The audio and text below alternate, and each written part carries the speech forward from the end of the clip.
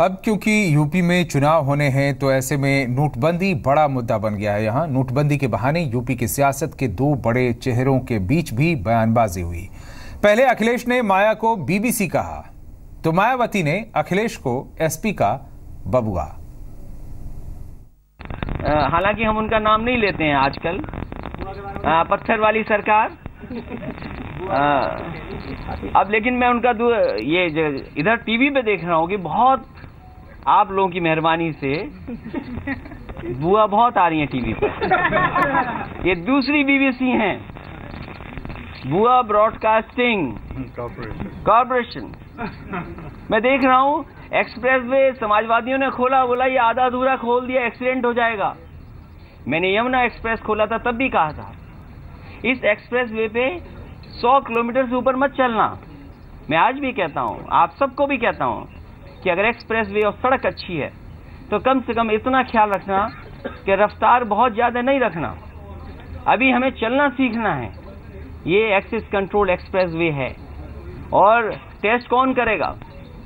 भाई, अगर मजबूती का टेस्ट करना होता, हाथी भी चलवा सकते थे। लेकिन मिराज और सुकोई से ज़्यादा मजबूती का टेस्ट कुछ कोई नहीं दे सकता। और इसलिए क्योंकि जो लखनऊ में हाथी लगे हैं पिछले नौ साल से बैठे का बैठा है, खड़ा का खड़ा है। तो बताओ उनसे क्या कहें विकास के बारे में? सपा जो मुखिया है, उसके बबुआ को भी मालूम है और जो सपा का जो मुखिया है, उसको भी मालूम है कि अब वो पावर में आने वाले नहीं है। वो पावर में आने वाले नहीं है, इसलिए वो इधर उधर मारे मारे घूम रहे हैं गठबंधन के लिए। तो गठ, सपा मुखिया अलहदा घूम रहा है, उसका बबुआ अलहदा घूम रहा है। मुझे ये मालूम पड़ा कि सपा मुखिया का बबुआ जो है तो वो इधर पार्लियामेंट में भी घूम रहा, उसको होना चाहिए उत्तर प्रदेश में। वहाँ पर तराही तराही मची है, लाठीचार्ज हो रहा है लॉ एंड ऑर्डर खराब है। और लेकिन उसको लग रहा है कि भाई वो सत्ता से बाहर जा रहे हैं तो इसलिए सपा मुखिया का बबुआ मारा मारा घूम रहा है। नोटबंदी पर एक ओर जहाँ संसद में संग्राम छिड़ा है तो वहीं यूपी की सियासत भी अब नोटबंदी के चारों ओर चक्कर लगाने लगी है। नोटबंदी को लेकर आज सीएम अखिलेश दिल्ली में प्रधानमंत्री मोदी से मिले। उधर एसपी नेता नरेश अग्रवाल ने आरोप लगाया कि यूपी चुनाव को देखते हुए ही मोदी सरकार ने नोटबंदी का फैसला लिया।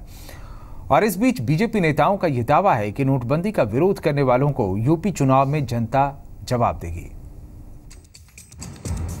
पाँच और एक हज़ार रुपए के नोट पर बैन लगाने के बाद देश का सियासी पारा उबाल पर है। देश के साथ ही यूपी की सियासत भी अब नोटबंदी के मुद्दे के इर्द गिर्द घूमती नज़र आ रही है। एसपी और बीएसपी नोटबंदी पर मोदी सरकार को घेरने में जुटी है। समाजवादी पार्टी तो सीधा आरोप लगा रही कि यूपी चुनाव को ध्यान में रखकर ही मोदी सरकार ने नोटबंदी का फैसला लिया है। अगर उत्तर प्रदेश का चुनाव इतना इम्पोर्टेंट चुनाव हो जाएगा कि देश की चौरानवे परसेंट जनता को सड़क पर खड़ा कर दिया जाएगा तो विदेश से काला धन कब आएगा? ये भी हिंदुस्तान के लोगों को पता लग जाए। चुनाव के समय तो यही निर्णय हुआ था। चुनाव के समय तो यही बात करी गई थी। चुनाव के समय यह हुआ था कि विदेश से काला धन लाएँगे। हिंदुस्तान के काले धन की बात नहीं हुई थी। उधर बीएसपी अध्यक्ष मायावती ने नोटबंदी पर पीएम मोदी के सर्वे पर सवाल उठाते हुए लोकसभा भंग कर नए चुनाव कराने की चुनौती दी। तो जवाब देते हुए वित्त मंत्री अरुण जेटली ने कह डाला कि उन्हें इसका जवाब यूपी चुनाव में मिल जाएगा।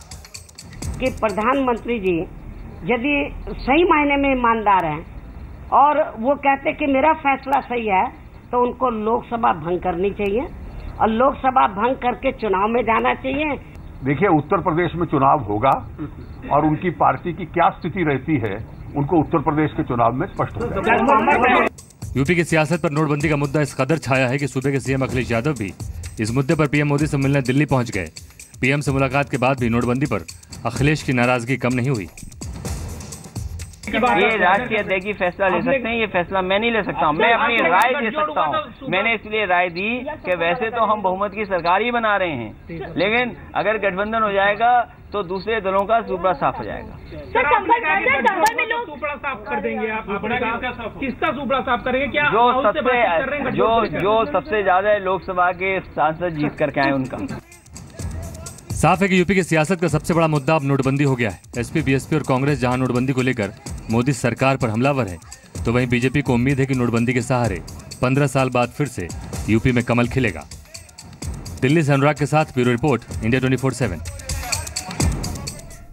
और ट्रैफ़िक सिग्नल पर खुद बंद हो जाएगा आपका वाहन। कोई अब सिग्नल तोड़ नहीं पाएगा और वाहन चोरों पर भी नकेल कस जाएगी।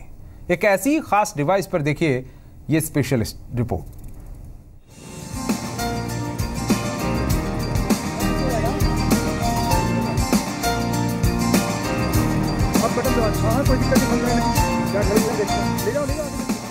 चौराहे पर लाल बत्ती होते ही तीन साइड से आ रहे सभी वाहन बंद हो जाएँगे। जब तक ग्रीन सिग्नल नहीं होगा, कोई उन्हें स्टार्ट भी नहीं कर पाएगा। वाहन बंद होने के बाद भी कोई आगे बढ़ता है तो पुलिसकर्मी से नहीं बच पाएगा। कोटा के आईआईटी छात्र देवेंद्र राज गोमा ने ये खास डिवाइस तैयार की है।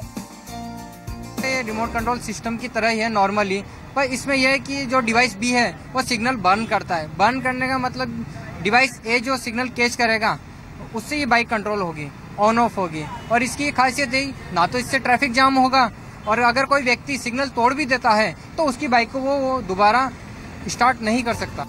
कोटा शहर में बिगड़ी ट्रैफ़िक व्यवस्था से लोगों को निजात दिलाने के लिए देवेंद्र राज के दिमाग में ये आइडिया आया। उन्होंने इलेक्ट्रॉनिक सर्किट तैयार कर तीन डिवाइस बनाए हैं। तीन तरफ़ से जब ट्रैफ़िक ब्लॉक होगा रेड सिग्नल होगा तो खुद ब खुद एक सेंसर के ज़रिए आने वाले जो सभी वाहन है, वो बंद हो जाएँगे।